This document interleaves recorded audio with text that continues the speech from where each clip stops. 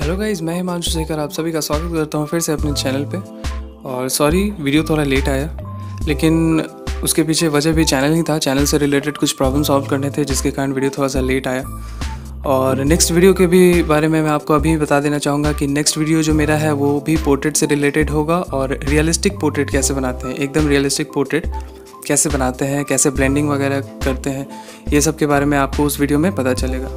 फ़िलहाल बात करते हैं इस टॉपिक के बारे में आज का जो टॉपिक है, वो है हैचिंग टेक्निक से पोर्ट्रेट कैसे बनाते हैं इस बारे में है। तो मैं फ़र्स्ट टाइम आपको हैचिंग टेक्निक के थ्रू पोर्ट्रेट बता रहा हूँ यहाँ पे। तो हैचिंग के बारे में मैंने आपको पहले भी बताया था कि हैचिंग क्या होता है। हैचिंग एक शेडिंग टेक्निक है जिसके थ्रू आप बहुत जल्दी ही कोई भी स्केच बना सकते हैं और बहुत ही सिंपल है। लेकिन ये आपके लिए सिंपल तब होगा जब आप जब आप इसमें बहुत ज़्यादा प्रैक्टिस कर चुके होंगे। क्योंकि स्टार्टिंग में बिगिनर्स के लिए थोड़ा सा मुश्किल होता है। स्ट्रोक्स वगैरह एकदम स्ट्रेट स्ट्रोक्स एक ही डायरेक्शन में खींचना हर जगह पे, ये इतना इजी भी नहीं है। लेकिन जैसे जैसे आप प्रैक्टिस करते जाएँगे, वो बहुत ईजिली आपको बहुत जल्दी आपकी पकड़ में आ जाएगा। तो तो जो भी इस टेक्निक को सीखना शुरू करना चाहते हैं बिगिनर्स हैं स्टार्ट करना चाहते हैं सीखना है इसको तो वो सबसे पहले आप किसी भी तरह के स्टिल लाइफ से ही स्टार्ट करें। स्टिल लाइफ को स्केच निकालें और उसको, उसके ऊपर प्रैक्टिस करें। हैचिंग टेक्निक और रियलिस रियलिस्टिक जो वर्क होता है रियलिज्म हैचिंग में भी रियलिज्म होता है। इसमें भी हम लोग रियलिस्टिक वर्क ही करते हैं और रियलिज्म तो प्योर रियलिज्म होता ही है। लेकिन इन दोनों टेक्निक में क्या डिफरेंसेस है? रियलिज्म में हम लोग क्या करते हैं कि अलग अलग ब्लेंडिंग टेक्निक का यूज़ करते हैं। ब्लेंडिंग के लिए उसमें अलग अलग मटेरियल्स भी यूज़ करते हैं इक्विपमेंट्स यूज़ करते हैं और वो बहुत ज़्यादा टाइम टेकिंग होता है। लेकिन अगर हम यहाँ पे बात करें हैचिंग टेक्निक के बारे में तो हैचिंग बहुत ही कम समय में हम लोग कर सकते हैं। किसी भी तरह के स्केच को बनाने के लिए, किसी भी तरह के पोर्ट्रेट को बनाने के लिए हम लोग हैचिंग का टेक्निक हैचिंग टेक्निक का यूज़ करके बहुत जल्दी उस स्केच को कंप्लीट कर सकते हैं। अगर आप किसी का पोर्ट्रेट बना रहे हैं और लाइव पोर्ट्रेट बना रहे हैं और आप पूरा रियलिस्टिक वर्क बनाने की कोशिश कर रहे हैं तो वो बहुत ज़्यादा टाइम टेकिंग हो जाएगा आपके लिए। वो कंप्लीट होना कुछ ही समय में पॉसिबल नहीं है। लेकिन अगर आप हैचिंग टेक्निक का यूज़ करके किसी का पोर्ट्रेट खास करके अगर आप लाइव बना रहे हैं तो अगर आप यूज़ करें इसका इस टेक्निक को उसको बनाने के लिए तो बहुत ही जल्दी आप पोर्ट्रेट कंप्लीट कर सकते हैं। सबसे ख़ास बात इसका यही है कि आप रियलिस्टिक अप्रोच दे सकते हैं अपने स्केच को और बहुत ही कम समय में उसको कंप्लीट कर सकते हैं। फॉर एग्ज़ाम्पल अगर आप बात करेंगे इस आ, वीडियो में जो मैं पेंटिंग बना रहा हूँ उसके बारे में तो मुझे शायद मुश्किल से एक घंटा भी नहीं लगा होगा इस स्केच को कंप्लीट करने में। तो आप भी ऐसा कर सकते हैं, बस प्रैक्टिस की ज़रूरत है। अगर आप इस तरह से प्रैक्टिस करने लगे, आपके हाथों में वो स्ट्रेंथ आ गया जो इसको चाहिए, जो इस टेक्निक के लिए ज़रूरत है आपको तो वो आप कंप्लीट कर सकते हैं कोई भी sketch at least A four size पे आप कोई भी पोर्ट्रेट एक घंटे के अंदर बना सकते हैं। साथ ही साथ इसमें केवल और केवल पेंसिल यूज़ करना है। कोई भी अलग अलग तरह का ब्लेंडिंग टेक्निक ब्लेंडिंग टूल्स वगैरह यूज़ नहीं करना है। आप यहाँ पे देख सकते हैं, मैं और कोई भी टूल्स नहीं यूज़ कर रहा हूँ। बस पेंसिल के साथ मेरे साथ पास केवल इरेज़र है। वो भी अगर कभी मिस्टेक हुआ तो उसको इरेज करने के लिए। और कोई भी मटेरियल मैं यूज़ यहाँ पे नहीं कर रहा हूँ। जो भी शेडिंग मैं देने की कोशिश करूँगा, वो केवल और केवल पेंसिल से होगा। जो ब्लेंडिंग भी अगर आपको इसमें देना है फॉर एग्ज़ाम्पल अगर आप चाहते हैं कि बहुत लाइट स्केच ना हो, थोड़ा डेप्थ में जाके इस पर काम करें, इसी टेक्निक में हैचिंग में ही तो आपको बस यही करना होगा कि जो भी डिफरेंट डिफरेंट शेड्स के पेंसिल आपके पास अवेलेबल हैं, उसका एक अच्छा उसका एक कंप्लीट यूज़ करना होगा। तब आपके पेंटिंग में डेप्थ आएगा, आपके स्केचिंग में डेप्थ आएगा, और वो ज़्यादा से ज़्यादा रियलिस्टिक दिखेगा। इस टेक्निक के थ्रू आपको बस ये दिखाना होता है कि जो भी आप बना रहे हैं, जो भी देख के आप बना रहे हैं, चाहे वो पोर्ट्रेट हो, चाहे वो कोई ऑब्जेक्ट हो स्टिल लाइफ हो, किसी भी चीज़ का जब आप स्केच बना रहे हैं तो उसके हाईएस्ट लेवल तक उसको मैच कराना है। जो भी आप देख के बना रहे हैं, उसके हाईएस्ट लेवल तक मैच कराना है। यहाँ पे आपको ब्लेंडिंग वगैरह का यूज़ नहीं करना है और आप एकदम रियलिस्टिक या हाइपर रियलिस्टिक ड्राइंग नहीं कर रहे हैं।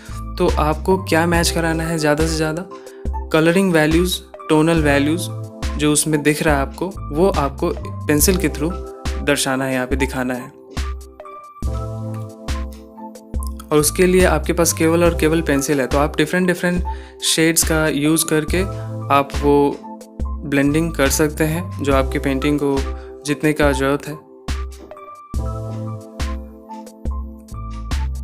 कुछ लोग इसको आर्टिस्टिक स्केच बोल देते हैं। मेरा ऐसा मानना है कि आर्टिस्टिक ये भी है, ये टेक्निक भी शेडिंग टेक्निक भी, और जो रियलिस्टिक टेक्निक है, वो भी आर्टिस्टिक ही है। ऐसा नहीं है कि वो आर्टिस्टिक नहीं है। उसमें भी बहुत ज़्यादा मेहनत लगता है।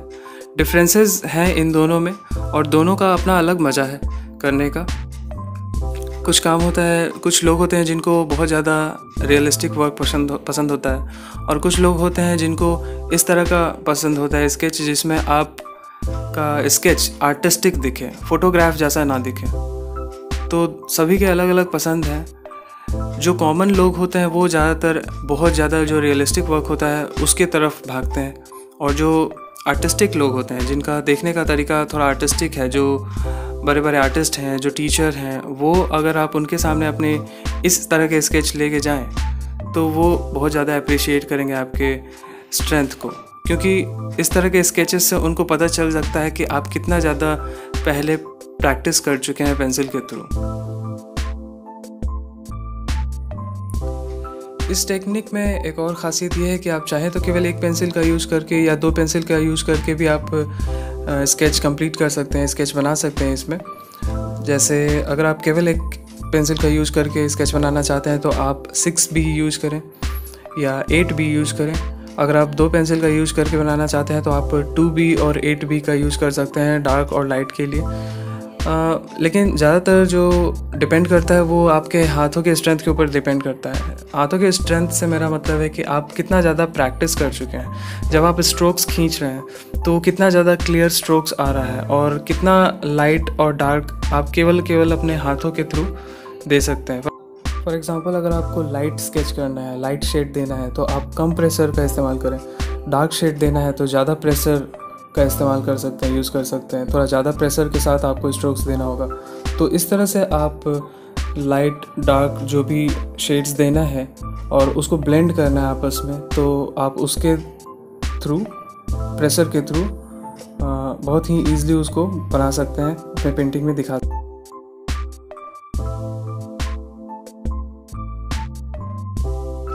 आप चाहे तो इसे कम से कम समय में या ज़्यादा से ज़्यादा समय में भी बना सकते हैं।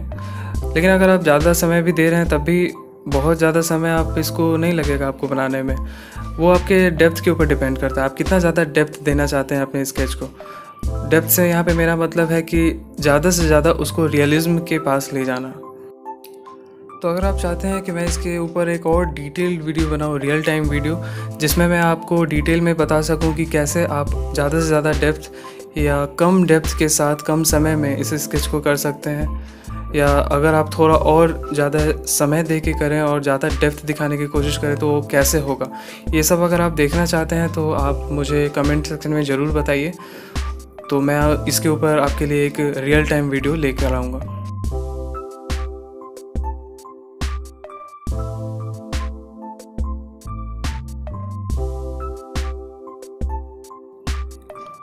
आई होप आपको ये वीडियो पसंद आई हो। अगर पसंद आई हो तो इसे लाइक ज़रूर करें और अपने राय कमेंट सेक्शन में ज़रूर बताएँ, जो भी आपके ओपिनियंस हैं। मेरे साथ ज़रूर शेयर करें कमेंट सेक्शन में।